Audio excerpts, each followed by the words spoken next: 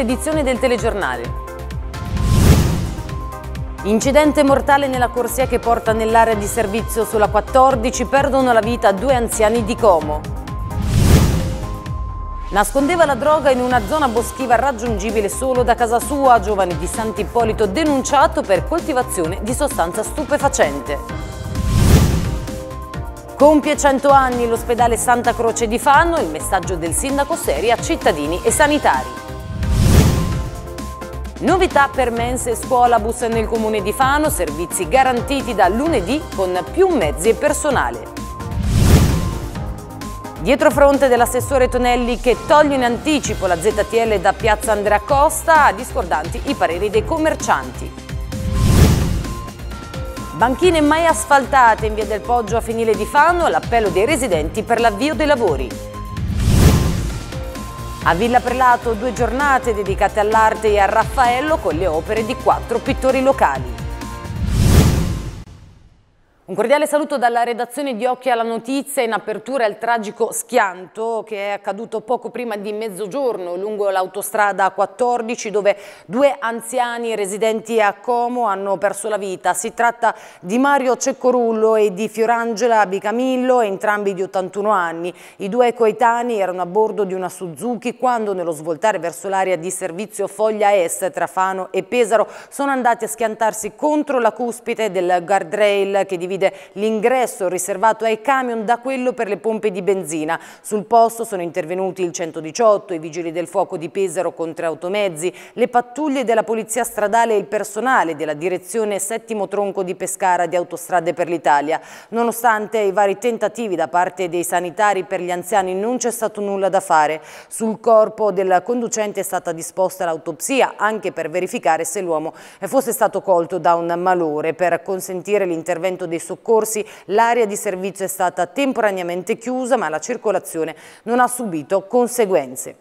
E ancora cronaca, un ventenne di Sant'Ippolito è stato denunciato per coltivazione di sostanza stupefacente. Durante una perquisizione nella sua casa, i carabinieri di Fossombroni insieme ai colleghi della Forestale e del Nucleo Cinofili di Pesaro hanno eh, rinvenuto un libro di istruzioni su come coltivare bene velocemente la cannabis indica, oltre al materiale per sminuzzare la marijuana e fertilizzanti per la fioritura delle piante. L'abitazione era arrivata all'attenzione degli inquirenti dopo dopo il sorvolo di un elicottero del tredicesimo nucleo elicotteristi carabinieri di Forlì. Infatti in quell'occasione i militari avevano notato una strana vegetazione con forma e colori sospetti. Inoltre in una zona boschiva vicino al fiume Tarugo è stato trovato lo stupefacente. Si tratta di un posto collegato e raggiungibile soltanto dalla sua casa. All'esito degli accertamenti la droga e il materiale per la coltivazione sono stati sequestrati e il giovane denunciato. Cambiamo argomento da lunedì prossimo e per alcuni dal 14 ripartiranno anche gli asili, i nidi e le scuole elementari. Oggi con l'assessore Samuele Mascarini e la dirigente Grazia Mosciatti abbiamo fatto il punto della situazione sulle mascherine, sulle mense ma anche sugli scuolabus. Diverse infatti sono le novità in vista delle norme anticontagio. Gruppi stabili, igiene, niente mascherine per i bambini. Il Ministero dell'Istruzione ha definito le linee guida per la ripresa delle attività in presenza di servizi educativi e delle scuole dell'infanzia per la fascia 0-6 anni. Il documento detta le regole affinché si possa garantire lo svolgimento in totale sicurezza. Nel rispetto delle norme anti-Covid diverse sono le novità, come per la mensa e gli scuolabus. Dal comune di Fano arrivano su questo delle buone notizie. Dal primo giorno di scuola, quindi da lunedì 14 settembre noi saremo nelle condizioni di garantire tutti i 1800 pasti che generalmente le nostre nove cucine comunali producono eh, e addirittura per il servizio di nido anticiperemo l'avvio di questo servizio a lunedì 7 settembre. Quindi diciamo arriveremo al primo giorno di scuola, il 14 settembre per la stragrande maggioranza eh, dei bambini e dei ragazzi, comunque con i motori accesi.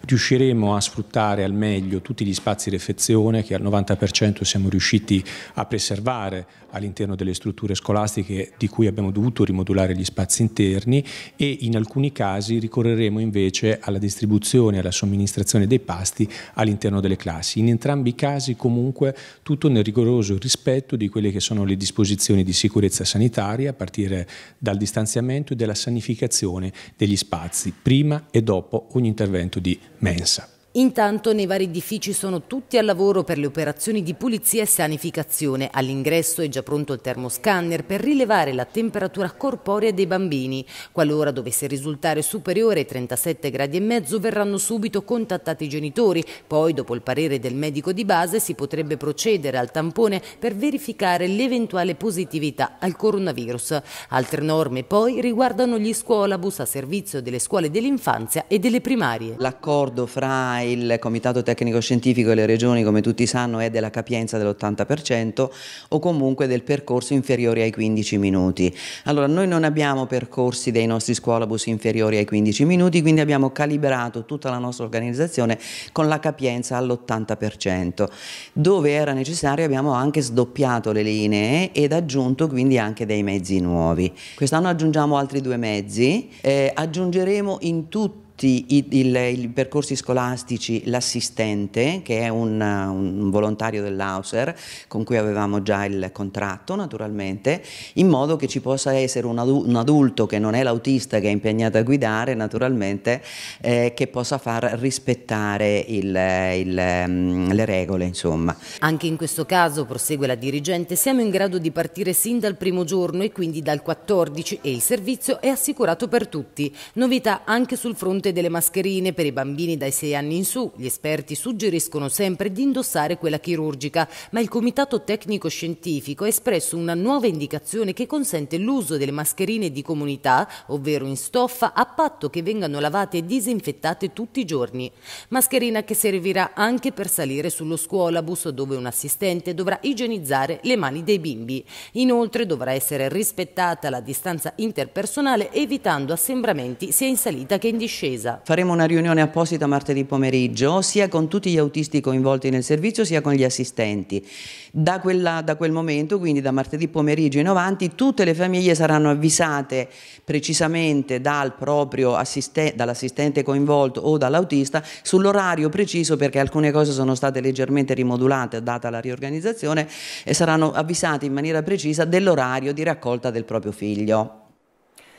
E sono 17 nuovi positivi al coronavirus registrati nelle ultime 24 ore nelle Marche su oltre 700 tamponi eseguiti nel percorso nuove diagnosi. 7 casi in provincia di Pesaro Urbino, 4 in quelli di Macerata, 3 nell'Anconetano e 3 in provincia di Ascoli Piceno. Questi casi comprendono 6 rientri dall'estero, da Romania e Albania, 7 contatti in ambiente domestico ma asintomatici, 2 contatti di vita in ambiente non domestico e 2 casi in fase di verifica. I ricoverati invece sono scesi da 14 a 13, mentre cresce ancora il numero di persone in isolamento domiciliare e l'ospedale Santa Croce di Fano domani festeggerà 100 anni, quindi un secolo di vita e per questo importante anniversario il sindaco Massimo Seri ha voluto ringraziare gli operatori sanitari ma anche lanciare un messaggio alla città.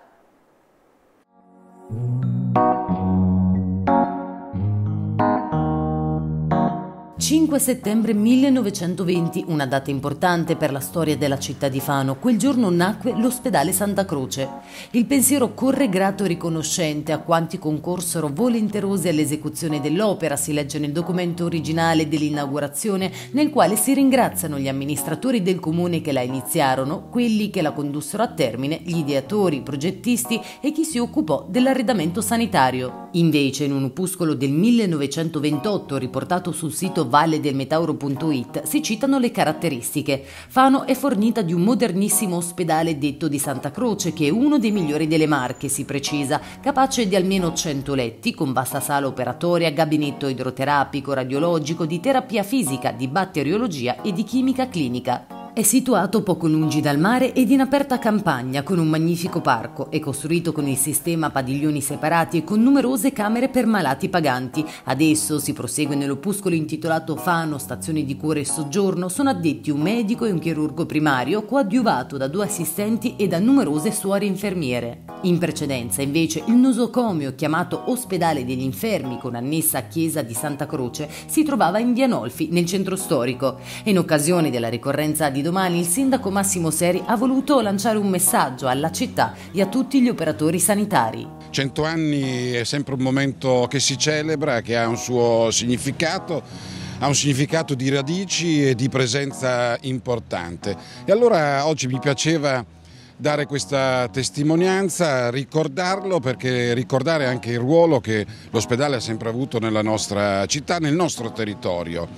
È un ruolo importante che tutt'oggi c'è, al di là di quello che si dice. Personalmente ho fatto di tutto perché la struttura ospedaliera rimanesse anche in eh, prospettiva.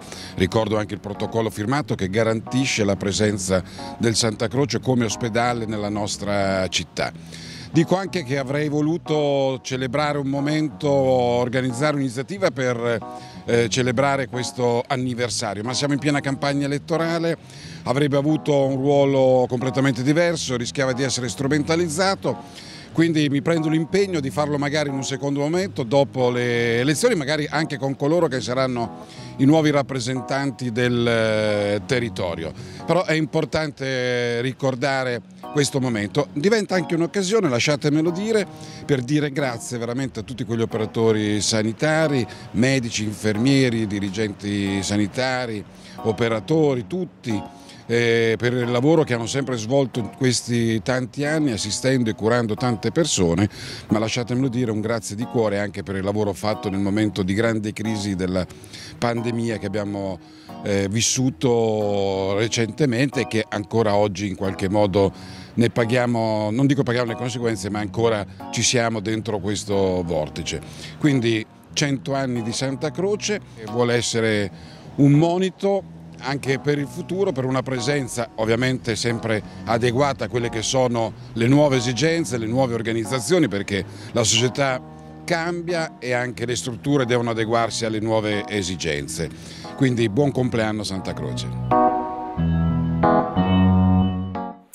E dopo la notizia annunciata ieri sera dall'assessore del comune di Fano Dimitri Tinti sulla possibilità di sostituire i tamponi con i test salivari e di prossimità, oggi replicano le famiglie di alcuni ragazzi affetti da autismo che devono sottoporsi mensilmente a questi esami per poter frequentare i centri diurni. Non ci hanno contattati neppure per darci queste informazioni, ci hanno raccontato alcune mamme che comunque ringraziano le autorità competenti per l'alternativa proposta. Nonostante questo hanno proseguito, la nostra battaglia eh, proseguirà per vie legali sia per eh, quello che hanno dovuto subire i nostri figli sia perché è una vera discriminazione. Il rischio, proseguono i genitori, è che si vada indietro piuttosto che avanti. Fino a che i nostri figli non verranno trattati come tutti gli altri ragazzi noi continueremo a denunciare questo trattamento e non molleremo. E invece dopo il dietrofront dell'assessore Fabiola Tonelli che ha chiuso in anticipo la sperimentazione della ZTL in piazza Andrea Costa a Fano, oggi abbiamo sentito il parere dei commercianti. Alla fine di settembre Piazza Andrea Costa, Fano, non sarà più una zona ZTL. Lo afferma l'assessore Fabiola Tonelli, la quale ha annunciato il termine della sperimentazione che, nonostante il successo ottenuto, al posto di proseguire fino a dicembre si interromperà a fine mese, riportando la piazza a parcheggio, seppur con un numero di posti minore rispetto al passato, per permettere ai locali di organizzare eventi e posizionare tavoli e sedie all'esterno. I pareri dei commercianti fanesi a riguardo sono di discordanti. Ci avevano detto che avrebbero riaperto l'anno nuovo e molta gente era scontenta, eh, specialmente le persone grandi e cose del genere così.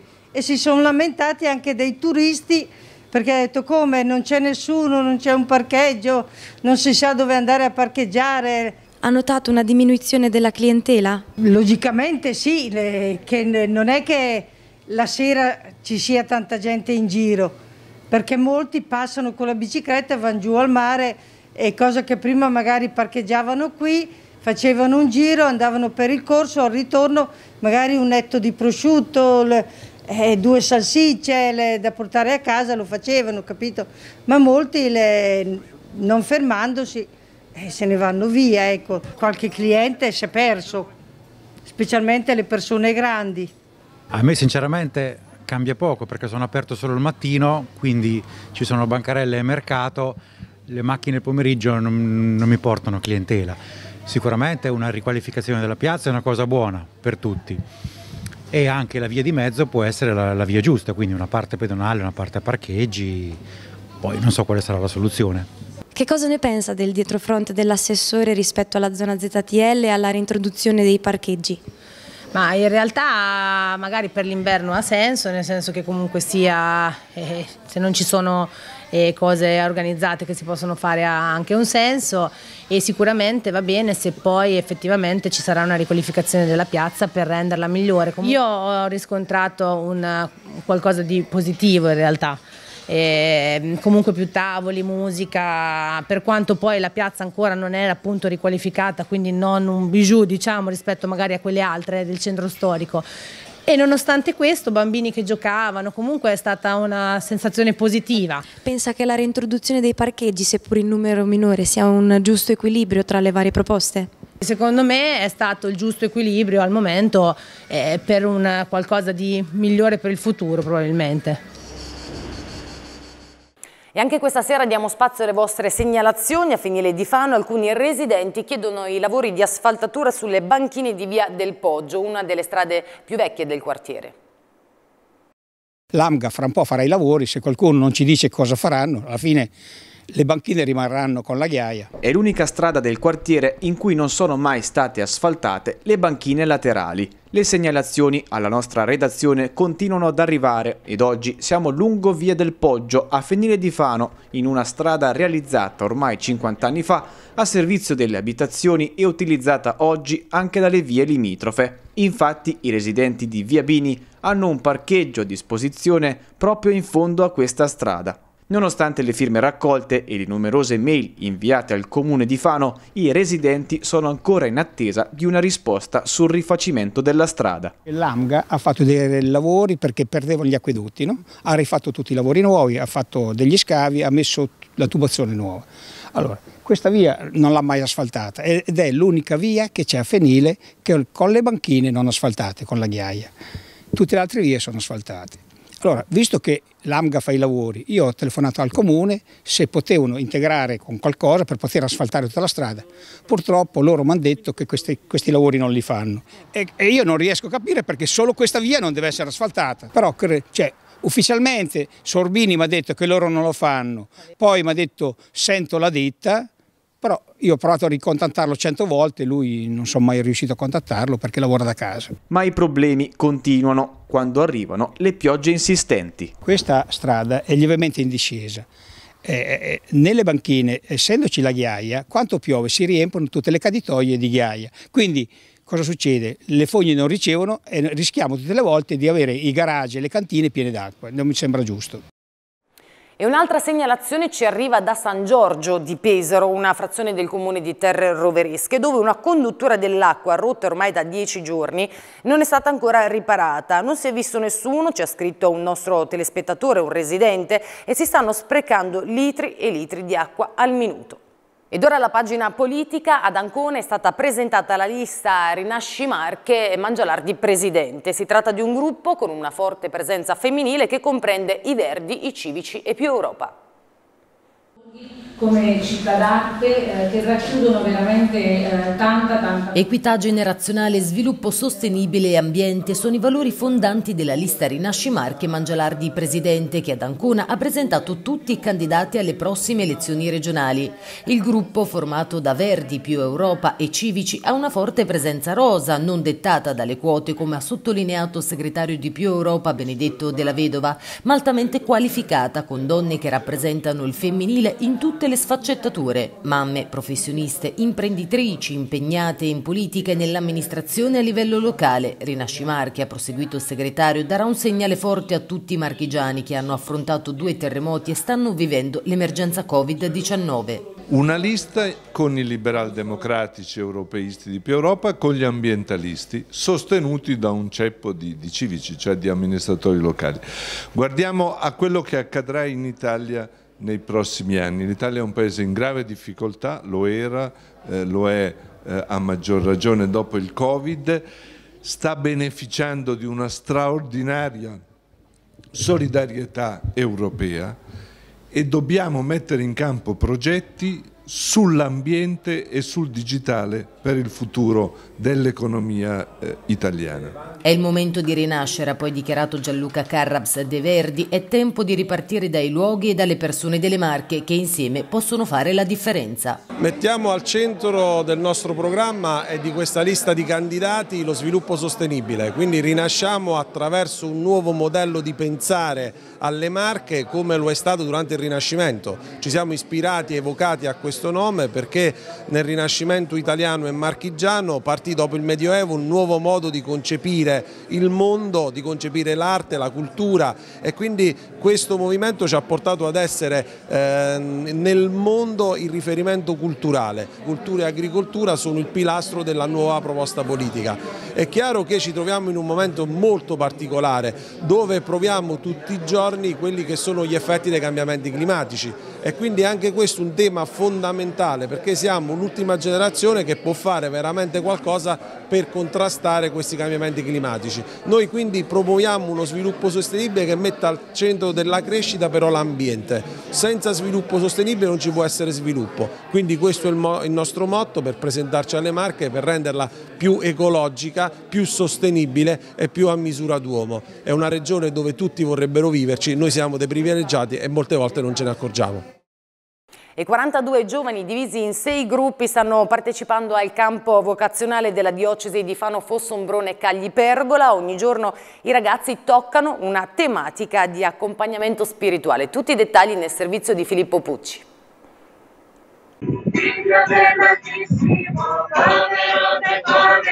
Provengono da tutte le parrocchie della diocesi di Fano Fossombrone Cagli e Pergola e anche da Pesaro.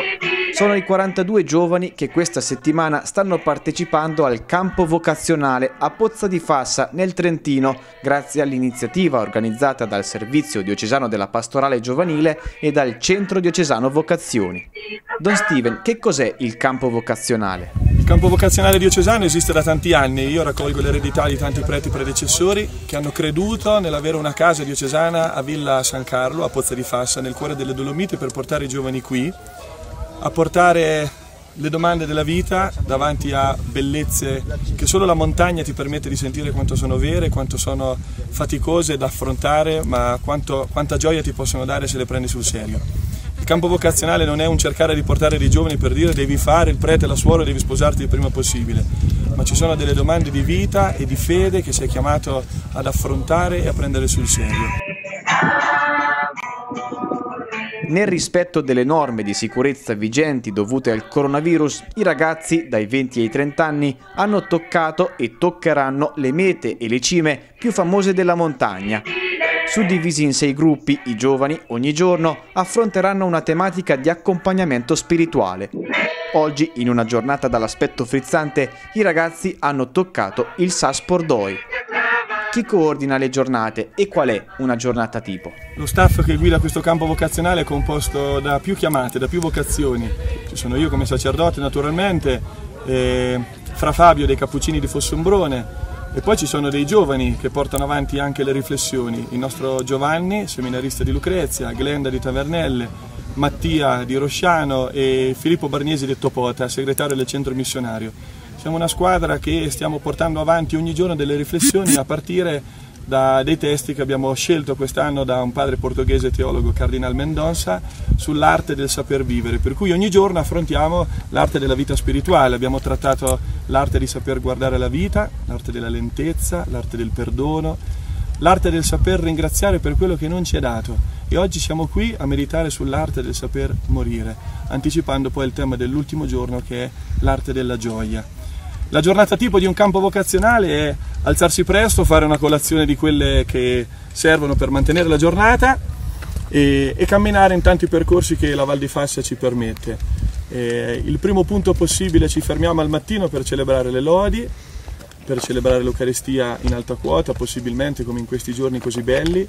A turno uno dello staff guida la riflessione e i ragazzi sono divisi in sei gruppi per poter dare modo poi dopo un tempo di silenzio di poter fare delle risonanze personali ed è veramente un'occasione per fare in modo che tutte le parole e tutte le riflessioni, la tanta parola di Dio che viene seminata arrivi nel profondo del cuore dei ragazzi e li provochi nella loro vita. E questa è la nostra giornata tipo, fino a tornare poi in casa, cercare di docciarci e alla sera cercare un po' di riprendersi dalle fatiche, ma concludere sempre con la preghiera della compieta e con il programma del giorno dopo, che è sempre qualcosa di inaspettato. Si intitola Eccessi d'amore ed è l'evento che si svolgerà nel fine settimana a Villa Prelato. In mostra le opere di quattro artisti del territorio con diversi appuntamenti collaterali per celebrare l'arte in onore di Raffaello. Si intitola Eccessi d'amore ed è la mostra d'arte in programma il 5 e il 6 settembre al Prelato Basso di Fano. Un evento, quello organizzato dalla Galleria Superdote, che ha l'intento di ricordare Raffaello Sanzio a 500 anni dalla sua morte. Parte centrale di questi due giorni è la mostra degli artisti fanesi Paolo Tarcisio Generali, Natale Patrizi, detto Agra, Doro Catalani e Pierluigi Piccinetti, che con le loro ultime opere vogliono omaggiare il divin pittore Urbinati. Si tratta di una mostra d'arte di quattro artisti, tre viventi, uno famoso in tutta Fano, generale, Paolo Tarcisio. È nata perché un amico mi ha detto guarda ci sono dei quadri di generali che qualcuno ancora non ha visto, quest'anno è 500 anni della morte di Raffaello, i pittori fanesi qualcosa devono pur fare per festeggiarlo. A me è venuto in mente il prelato perché ci ho passato l'adolescenza, quando ero giovane seminarista, sono un cardinale mancato. Quindi mi sembrava il luogo ideale. L'ho visto, l'ho ritrovato molto ben restaurato, c'è una cooperativa che si chiama Generazione che lo sta gestendo e sarà una bellissima serata sia il sabato sia la domenica pomeriggio. Poi una bella esclusiva del sabato sera, sempre sabato 5 alle 21.30 ci sarà una performance di Filippo Sorcinelli con eh, Giovanna Donini che presenteranno una nuova fragranza, un nuovo profumo. Quindi arte a tutto tondo, bellezza a tutto tondo. Il programma completo dell'evento è possibile consultarlo sul nostro sito occhioallanotizia.it. Nel ricco calendario ospiti a sorpresa e tante iniziative come presentazioni di libri, performance musicali, racconti e aneddoti. Per partecipare all'evento d'ingresso libero è obbligatoria sia la mascherina che la prenotazione al numero 338 30 51 082. E domani all'Arena BCC a Tre Ponti di Fano si tornerà a ridere con i comici del San Costanzo Show che chiuderanno la rassegna dialettale con la replica dello spettacolo Il Codice della Cecca.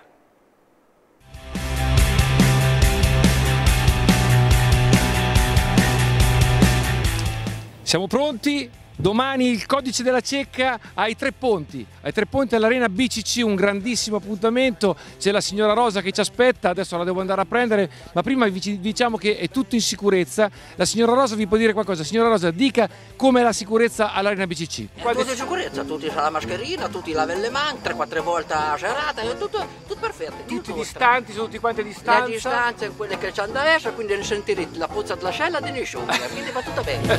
Devi sapere che Sabato, sabato, questo sabato, l'ultimo grande sabato dell'estate, il 5 settembre all'Arena BCC. Vado a prendere la rosa che ormai è tardi, mi aspetta. E soprattutto vi faccio sentire la sigla, la sigla della serata. Vada signora, canti anche lei. Sì, è il più grande spettacolo prima del lockdown, il più grande spettacolo prima del lockdown siamo, siamo noi. noi. Io e te.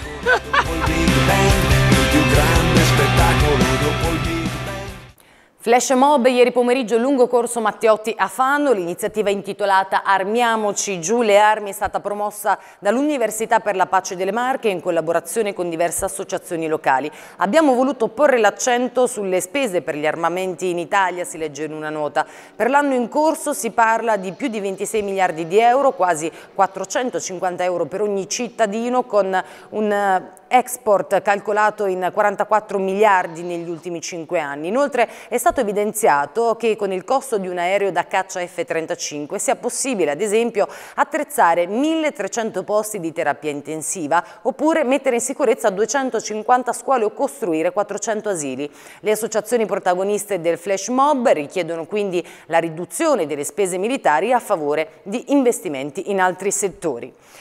Ed ora chiudiamo il nostro telegiornale facendo gli auguri a Francesca e Corrado Pugliesi di Fano che oggi festeggiano ben 55 anni di matrimonio, auguri dai figli, dai generi e da tutto lo staff di Fano TV. E con questa notizia chiudiamo qua il nostro telegiornale, io vi ringrazio per la vostra attenzione e vi ricordo come sempre l'appuntamento del mattino in diretta alle ore 7 con la nostra rassegna stampa Occhio ai giornali. Buona serata a tutti voi, arrivederci.